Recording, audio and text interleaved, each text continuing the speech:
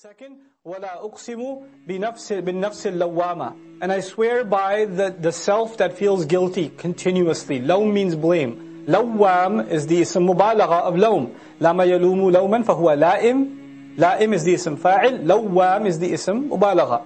Continuously blames. The nafsul lawama means the nafs that keeps on blaming and keeps on blaming and keeps on blaming. You do something wrong and you feel guilty inside, that guilt is a nafsul lawama and it's brought into the conversation about the day of resurrection. Why? Because that guilt inside of us is actually proof of judgment day. How so? Allah, Allah Azza wa Jalla is telling us inside our conscience there's a proof for judgment day. Because our guilt is basically like an internal moral alarm system.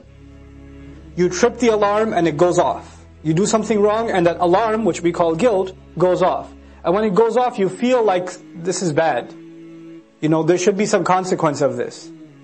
The ultimate consequence for all bad deeds happens when? Judgment day, and an alarm for every little deed that will count on that day goes off inside of you, it's called guilt. That guilt itself is Allah's way of reminding you that yeah, you didn't get in trouble, but you still feel bad, right? You feel bad because you know what's coming. Subconsciously even we're programmed with guilt. And guilt, subhanAllah, is such a powerful uh, human emotion, and it's not taught. You can't learn guilt. You can't teach a child to be guilty. You know, it's not like some societies have guilt and other societies don't have it. It is a human, it's an, it's a human emotion that is universal. And it's also a human emotion that can be killed. It can be removed, it can be taken out of your psyche. You do enough crimes, what happens? You start feeling, you stop feeling bad you get desensitized. That nafsul lawama just becomes a nafsul ammara. It just tells you what to do and you don't think twice about what you have to do. Just do it. You feel no guilt about it. You don't feel dirty inside. You don't feel regret. Not all of that remorse is gone. So the, the, the feeling of guilt, well this is one of the, you know, all emotions that Allah Azza wa put inside the human being, fear, anger, anxiety, you know, guilt, all of these emotions, they have their place in making us healthy functioning human beings. Even the negative ones, they have a place. If there was no fear, we wouldn't fear the akhirah. This wouldn't be the case. If there was no sadness, we wouldn't feel the pain of other human beings. We wouldn't be merciful towards them because we can't feel sad. You know, we're not capable of it. Every negative emotion also has some benefit. Fear, without, you know, fear, sadness, guilt. Guilt can, you know, somebody, some people kill themselves out of guilt. Soldiers come back after they've done heinous crimes in whatever countries and they end up shooting themselves end up, you know, overdosing on drugs because of over, you know, guilt that eats away at them. Musa alayhi salam accidentally killed a person. What did he feel? He felt guilt. But guilt is actually supposed to transform into something healthy. It's supposed to transform into something healthy. And let me explain how that works. You guys, you know, you, you take an exam. Two students take the same exam. One of them gets a 50, the other one gets a 50. They both fail the test. One of them is sitting in his desk crying tears coming down his eyes. He's so bad, mad at himself. He's feeling so guilty. How did I, why did I not study? Why did I waste my time? Why didn't I do my homework? Etc. Etc. The other student gets a 50, sheds a tear, wipes them, and comes over and says, Ustad, I need you to give me four more tests like this. I'm not going to stop until I get this right. I need to make this wrong right. They both feel guilty. But one takes his negative emotion and it paralyzes him. And the other takes his negative emotion and it d- drives him to perfect himself, to better himself, to never make that mistake again. They're not the same. They're not the same. And Allah expects one as opposed to the other. Musa a.s. killed someone. That depression alone can kill you. Just the grief could kill you. But Musa a.s. understands that I have to learn from my mistake and move on with life. So what does he tell Allah? رَبِّ إِنِّي لِمَا أَنزَلْتَ إِلَيَّ مِنْ خَيْرٍ فَقِيرٍ Any good thing you can send my way, I'll take it. I'm, I'm so desperate now to do good deeds more than I've ever been before because I know there's a guilt behind me. And to compensate for that crime, I will go out of my way to take any opportunity to do good deeds. That's one of the meanings of that dua. You know? That's a nafsul lawama, the, the self that keeps on blaming, what have you done? What have you done? What have you done? That conscience that keeps poking and pricking. And you know, feeling bad and feeling guilty is not a fun emotion. It's not a good emotion. It's not, it doesn't, it's not an enjoyable thing. So what do most people do? They bury their guilt. They compensate it. They rationalize their behavior. They say, no, no, no. Yes, I said something wrong, but you said it first. Or this happened first. Or it was because of this. And there's always a line of reasons to cover your guilt. But Allah Azza wa says, if you're true to yourself, then you will acknowledge the real guilt you have and do something right about it instead of covering it up. And then, now if, when those two things are there inside the human conscience, first of all character, and second of all, the, the, nafsul lawama, then understanding that a day is coming with all of our deeds will be brought before us, and all of that guilt that was poking us and saying, hey, you better do a good deed to compensate for this bad deed, so you don't get in really serious trouble one day, all of that that was happening inside of our souls, that'll all pan out. Then it makes total sense. But if someone has no guilt left inside of them, what akhirah? What are you talking about Yawm al-Qiyamah? What, what judgment day? أَيَحْسَبُ الْإِنسَانَ أَلَّا نَجْمَعَ عِظَامًا Has the human being assumed that we're not going to be gathering his bones? You know why I love these ayat? Because these are the ayat that teach us that our deen is not just a computation of, you know, here's the proof and therefore you believe in Allah. And it's just total just logic and rationale and that's it. It's not just that. Human beings were created far more advanced than just pure, you know, ABC and rationale. There is a, there is a lot of rationality in our religion. It is.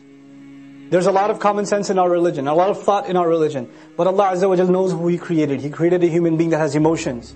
A human being that has a psychology, a, fe- a feelings. That cannot be computed. You can't put them in an equation. You can't compute guilt. You can't do that. So there are some aspects to a human being coming to guidance that are internal, and Allah makes them a proof. And that's not a proof you can use against somebody else in a philosophical debate. That's a proof for you inside you that this is truth. That it's just inside you that Allah put that there. Subhanallah. So, أَيَحْسَبُ الْإِنسَانُ أَلَّا نَجْمَعَ عِظَامًا Has the human being assumed, made the assumption, calculation, that we're not going to be gathering his bones together? Bala. No, no, on the contrary. قَادِرِينَ We have completely been capable.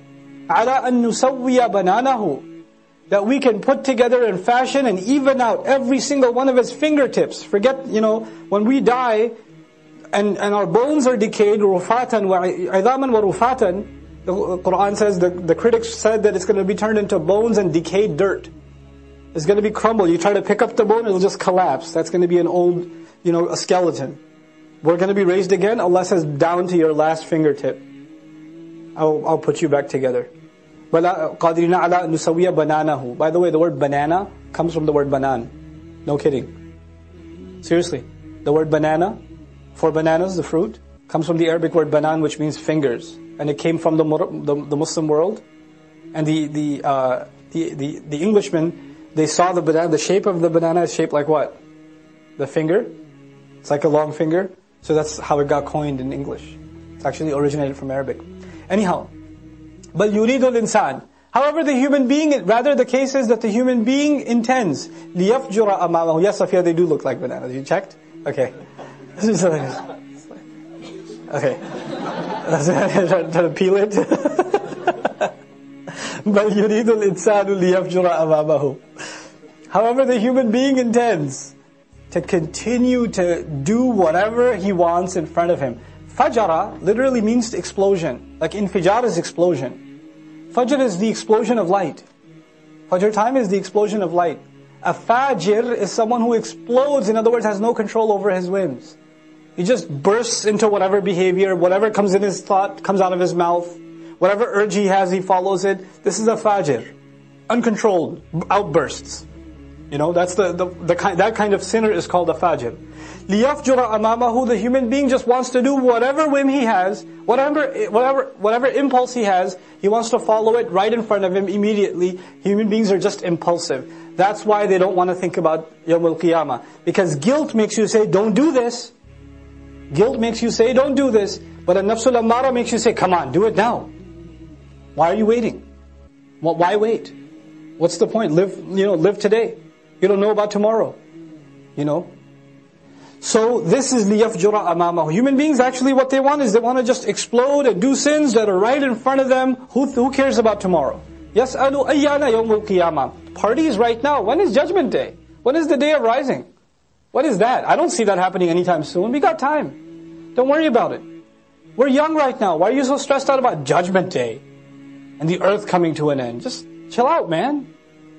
This is exactly Allah painting the picture of the, of especially young person, who's got the life in front of him or her, the party, the the the mode the, the mode to do it is there, money is there, opportunity is there, freedom is there, you know, the the the um, You know, the overbearing control of parents isn't there. They're by themselves in the city of Irving. Nobody knows what they do at night. Nobody knows. There's no control. Never sense, never seen that kind of freedom before. And an impulse comes and they're just going to do whatever they do. Whatever comes in their heart. Unless, and then they, when somebody, the thought doesn't even come judgment day. Yeah, yeah, I know judgment day, but right now this, and then later is istighfar. Tomorrow is Jummah. You know? And I will make it all up. بل يريد الإنسان ليفجر أمامه يسأل أيان يوم القيامة when when is يوم القيامة coming ولا يسأل متى يوم القيامة يقول أيان فيه استهزاء في الكلمة أيان أيان مرساها أيان يوم القيامة when come on when is judgment when is day of resurrection if it's a genuine question you don't say أيانا what do you say متى متى متى you know there's a curiosity in it there's an istifham a genuine istifham أيانا is a joke. Oh, come on, judgment. Really, really, resurrection. You're worried about that?